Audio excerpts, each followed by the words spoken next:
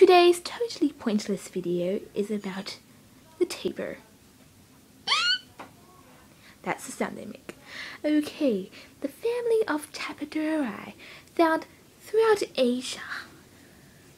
Yes, they are mostly solitary, but they can also be seen in pairs.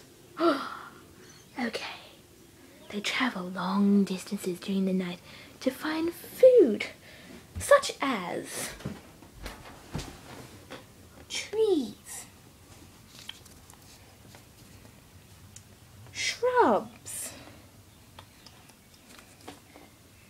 and aquatic plants.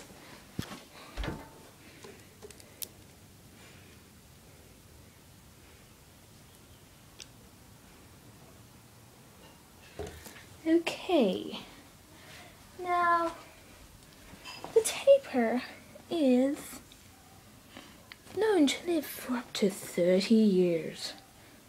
Yeah. And that's all I know about tapirs.